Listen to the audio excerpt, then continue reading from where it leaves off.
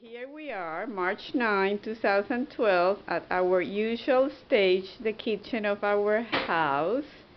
Is what time? Six It's 6:30. Seis, sesenta seis. No, 6.30. Seis y media. Seis y media. Okay, so 6.30, and here all the stuff that happens in the morning. The dogs want to eat at all times. Loco en la cantina.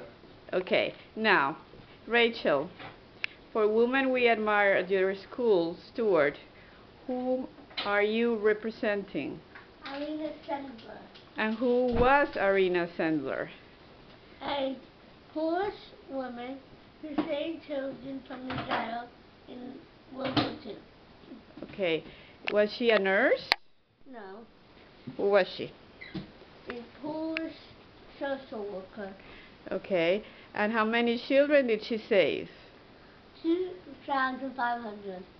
All Jewish children? Yes, Well, the children uh, went back after the war. Did they find their parents? some, Some. And others?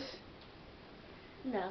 They were at whom, uh, but they were adopted by good families, I believe. Yes, Was Irena Sendler Jewish?